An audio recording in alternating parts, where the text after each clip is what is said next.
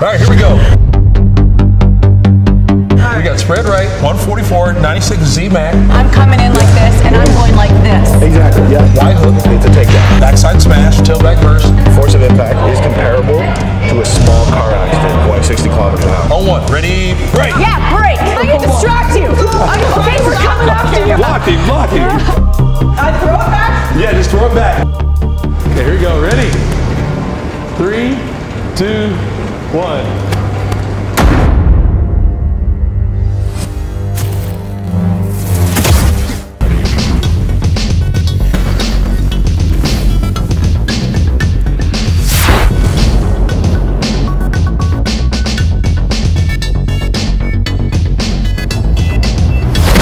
Here's the place. Here's the legend. Here I am. And my friend Carolyn. She's got a few gold medals. I play hockey. But we've never done this before.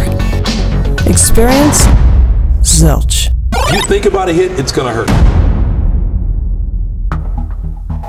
No clue how to start, less clue how to play. And neither do you when you start out. And that's the point. Because every athlete has a first day. And you've just been drafted. The Canadian version of football has some unique differences from its American counterpart. The size, for one.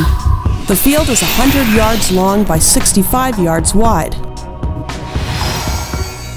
The first Grey Cup game was held in 1909.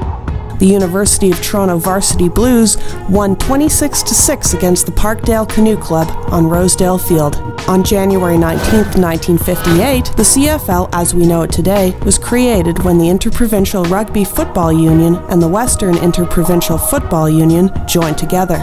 This is one of the reasons that Canadian football still shares many similarities with gridiron, which is where modern football evolved from. Fast forward to 2016. The Red Blacks won the Grey Cup. Our professor?